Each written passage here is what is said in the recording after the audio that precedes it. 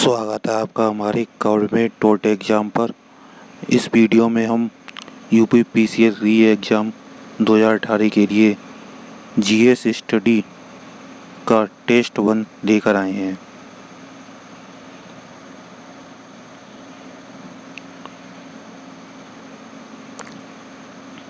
पहला क्वेश्चन है, सभी जैविक यौगिकों में पाया जाने वाला तत्व है। तो ये है कार्बन। अगला, नमक को बर्फ़ के साथ मिलाने से हिमांक। तो ये हिमांक घटता है, नमक को बर्फ़ के साथ मिलाने पर। अगला, पूर्ण आंतरिक परावर्तन की घटना तब घटती है जब आपतन का कोड डैश क्रांतिक कोड से। तो ये है, जब आपतन का कोड क्रांतिक कोड से अधिक होगा। अगला, प्रसिद्ध नारा, जय जवान, जय किसान, भारत को किसने दिया? तो ये दिया लाल बहादुर शास्त्री ने। अगला, निम्न में से कौन सा एसिड का एक आवश्यक घटक है? तो ये है हाइड्रोजन। अगला क्वेश्चन है, विसर्जन प्रसिद्ध बंगाली नाटक के लेखक कौन है? तो ये हैं रविंद्रनाथ ठाकुर।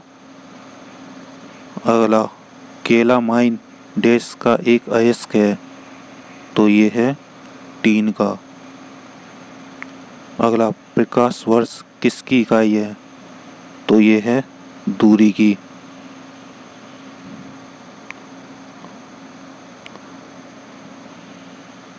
अगला प्रसिद्ध हिंदी उपन्यास गोदान के लेखक कौन है? तो ये हैं मुंशी प्रेमचंद। नक्शा बनाने के विज्ञान को किस रूप में जाना जाता है? तो ये जाना जाता है नक्शा न वीसी अगला, भारतीय राज्य तेलंगाना के पहले मुख्यमंत्री कौन है? तो ये हैं के चंद्रशेखर राव। अगला, मेपल का पत्ता किस राष्ट्र का राष्ट्र प्रतीक है? तो ये है कनाडा का। ध्वनि का किस माध्यम से गमन नहीं हो सकता है? तो ये नहीं हो सकता निर्वात में। भारत और अफ़गानिस्तान के बीच की सीमा रेखा किस रूप में जानी जाती है? तो ये जानी जाती है डूरंट रेखा के बारे में। अगला, इनमें से कौन तांबे का एक मिश्र धातु नहीं है? तो ये नहीं है सोल्डर। अगला, भारत में राष्ट्रीय वनस्पति अनुसंधान संस्थान कहाँ स्थित है? तो ये है लखनऊ में।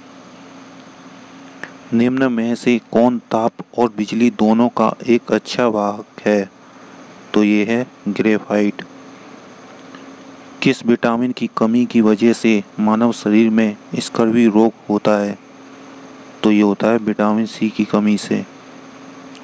अगला, त्वचा की भारी परत को डेस कहा जाता है। तो ये कहा जाता है एपिडमिस अगला, कौन आनुवंशिकी के पिता के रूप में जाना जाता है? तो ये जाने जाते हैं जीजे मैंडेल। अगला, एक पेड़ की उम्र का पता कैसे लगाया जा सकता है? तो ये लगाया जाता है उसके वर्तमान में अपनी वार्षिक छल्ले से। एक फूल के नर भाग को क्या कहा जाता है? तो ये कहा जाता है पुंकेसर। अगला, कोशिका का ऊर्जा का आधार है। तो ये है माइट्रोकांड्रियन।